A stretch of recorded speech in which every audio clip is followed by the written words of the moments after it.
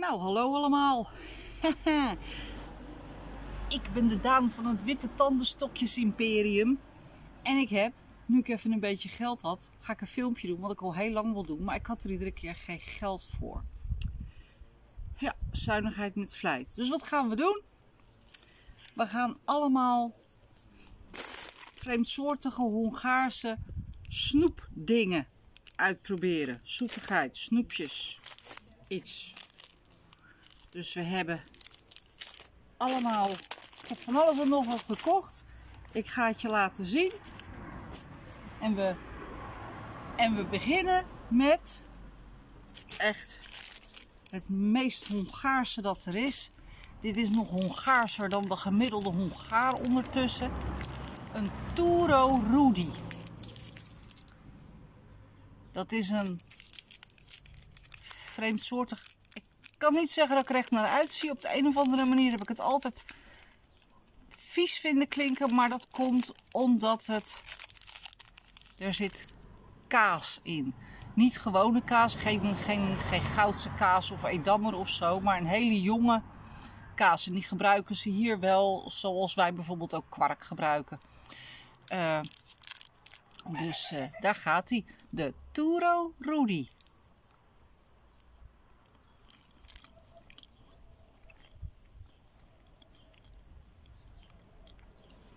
Nou, nou.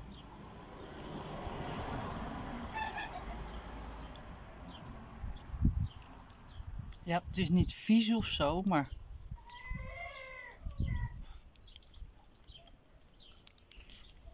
Oh, wacht. Verderop komt er wat... Dan zit er een vulling in. Dat wist ik niet. Ik denk van de zeggen smaak nog krakan.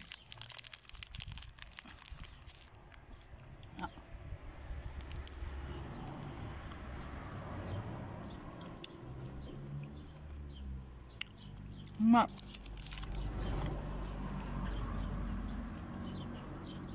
eigenlijk vind ik het doodsaai.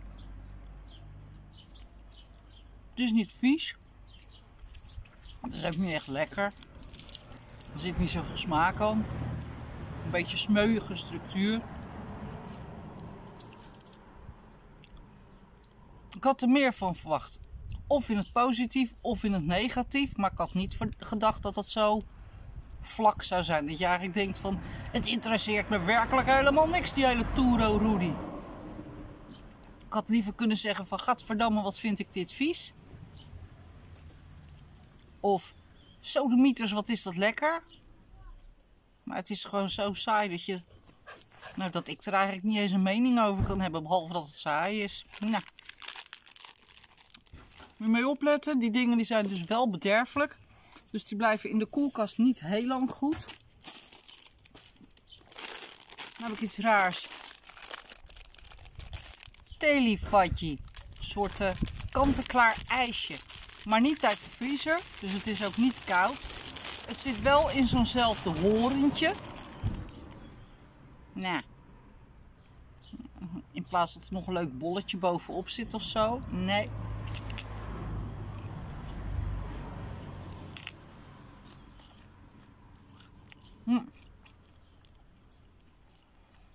zit een soort moesachtig iets zit erin.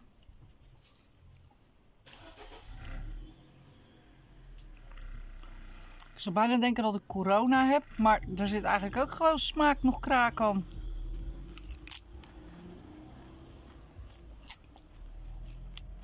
Maar proef wel iets, maar het is niet dat je zegt van ik proef nou echt chocola of het is zoet.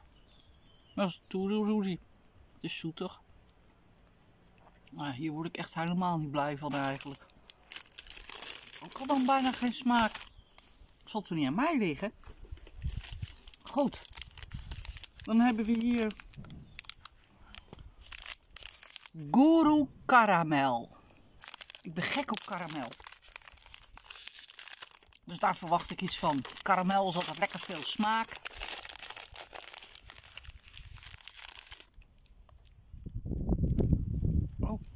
zo zacht. Oh. Er zit ook weer van die uh, kazige zooi in. Oh, ja, daar komt de karamel. Oh. Weet je waar die man nu denken? Qua karamel.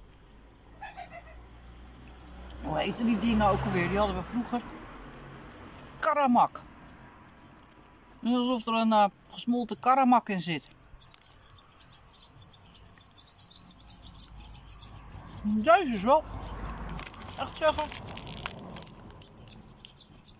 boordevol smaak. Lekkere karamel. Ja, die, dat kazige gedeelte. Maar...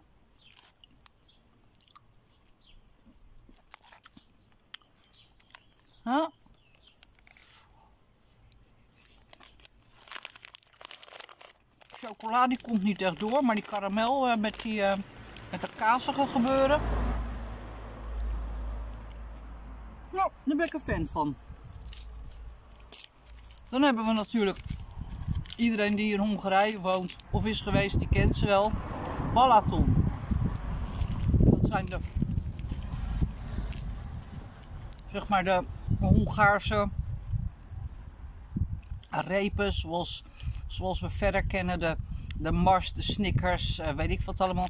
Hebben ze hier, hebben ze de Balaton. Natuurlijk kun je ook de Snickers en de Mars en weet ik wat allemaal kun je krijgen. Maar dit is echt Hongaars. Een Balaton. Vernoemd naar het Balatonmeer. Het is gewoon een stapeltje met van die kutwafeltjes met chocola.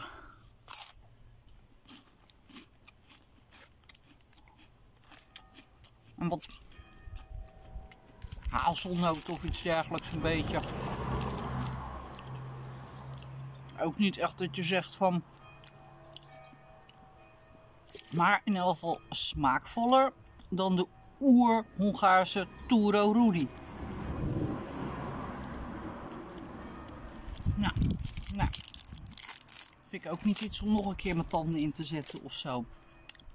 Hmm. En dan hebben we hier. Oh nee, wacht, ik wil eerst deze doen. Hahaha. Dianetzoeker. Oh, dan scheur ik er al een deeltje vanaf. Dianetzoeker. Ook Hongaarse dan dit wordt het niet. Samen met de Turo Rudy. Het hoort er gewoon bij. Ik word hier werkelijk niet blij van. Het is een klein chocolaatje. En dan onder de chocola, daar zit een soort nou ja, zeg maar een capsule van suiker. En daarin zit, jawel, palinka. Dat is een hele sterke drank. En ik hou helemaal niet van sterke drank. Ik ben helemaal niet zo'n uh, ik ben, helemaal niet zo'n drankorgel. Helaas pindakaas. Maar ja, het hoort erbij. Dus eh, voor jullie.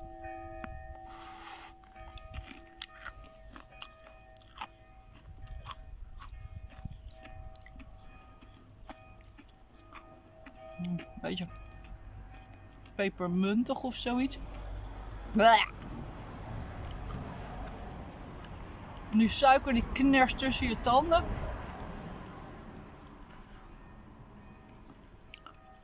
Hmm.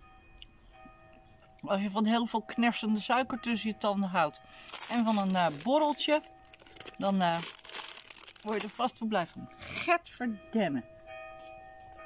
Ik ga echt even mijn mond spoelen. Ik hou er niets van.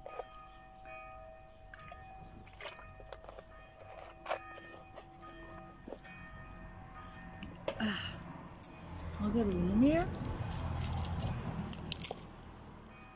Even kijken. Nog een uh, paar reepjes. Ik ga alles proeven. Die niet, dat is niet Hongaars. Wat hebben we hier? Een Zaprudi. Die komt ook uit de koeling. Dat is dus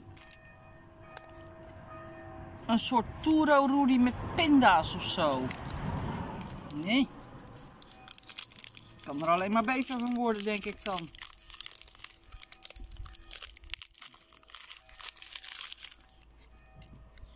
Beetje wit uitgeslagen chocola. Kan geen kwaad overigens.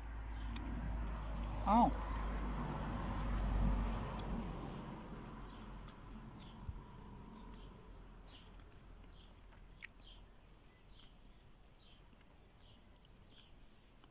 Getverpielekes, wat is Nee.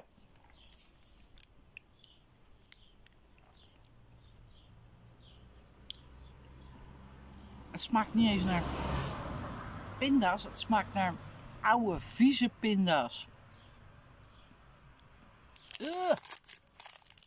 Hé, jammer.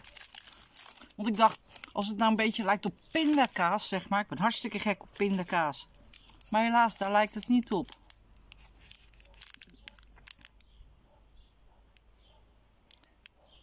Vekkete erde wadas. Vekkete erde, dat is dus zwarte woud. Ja. Ik ben benieuwd. En ook een beetje bang. Ik heb al vieze dingen geproefd. Saaie dingen geproefd. Ach, kijk, wat een schattig reepje om te zien. Oh. Oh. Oh. Oh, dat is ook drank. Dit een soort oh, vulling in. Ah. Oh. Er zit ook een sterke drank in. Ik weet niet wat het is. Het zal wel palinka zijn. Kijken of het erop staat.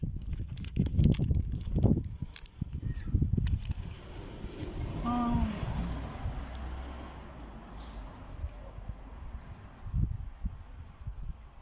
Nee. Er staat op dat er alcohol in zit, maar dit zit. Hm.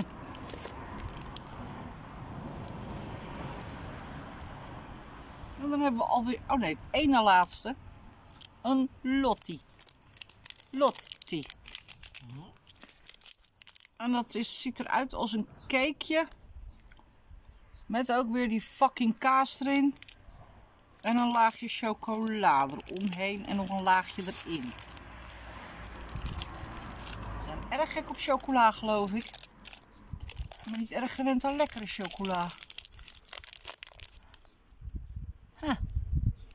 Ziet er lekker uit. Mm.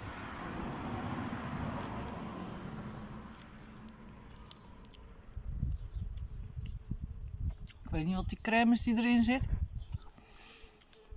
Cakeje is fucking droog. Ugh.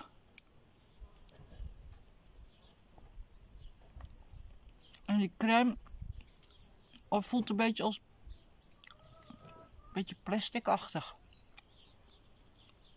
Nou. Nou. Mm, nee. En dan hebben we hier ver, verbena jumbeer, gember.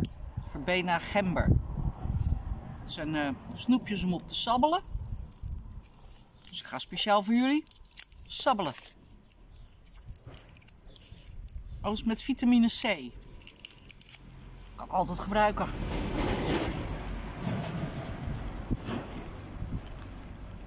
Oh. Dat zijn zuurtjes met gembersmaak.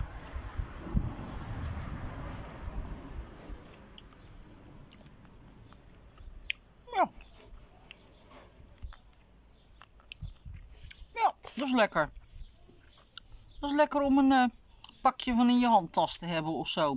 Voor de dames dan. En als man steek je hem gewoon lekker in je binnenzak of zo. En misschien vinden andere mensen weer hele andere dingen hiervan weer wel heel erg lekker.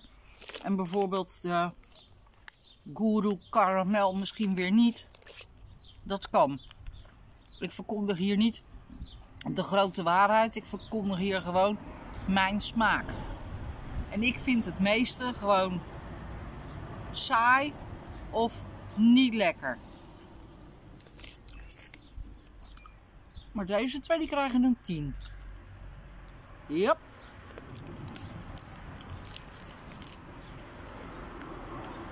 Ik had gedacht, die doe ik als laatste en daarna dan neem ik afscheid van jullie en dan spuug ik hem uit. Maar ik wil hem helemaal niet kwijt. Hij is gewoon onwijs lekker. Een gemberzuurtje. Briljant plan. Ja, nou, wat vond ik het allervieste?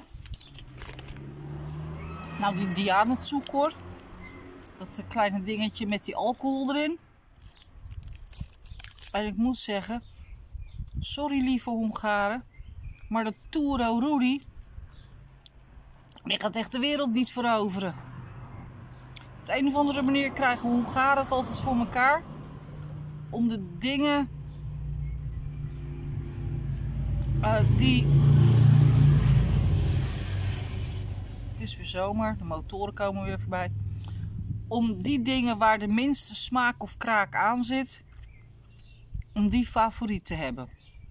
Dat is zo met bijvoorbeeld de paprika's. Uh, in alle dorpswinkeltjes, uh, daar kun je vooral de witte paprika's kopen. Er zit eigenlijk amper smaak aan. En het, het heeft geen, geen lekkere bite of crunch. Dan hebben ze hier spersiebonen, maar dan hebben ze de gele spersiebonen. Smaak nog kraak, nog crunch, niks zit eraan. En dat is met meer dingen zo. Ze houden allemaal van een beetje zachte, en zo min mogelijk smaak eraan. Terwijl wij Nederlanders, we houden juist van smaak en extreme, en pittig. En, uh, maar hier is eigenlijk het, het, het, het, uh, het meest extreme wat ze geloof ik eten qua, qua intensiteit van smaak. Dat, is, het zijn de zoetzuurtjes die gemaakt worden bijvoorbeeld van bloemkool of augurken of komkommer of wortel of van alles en nog wat uien. Hartstikke lekker, dat maken ze echt hartstikke lekker klaar, eerlijk is eerlijk. Maar als je het bekijkt in smaak extreme, is dat voor Hongarije eigenlijk al gewoon ontzettend extreem. Want de rest van alle eten is eigenlijk een beetje Turo Rudy, een beetje, beetje vlak, een beetje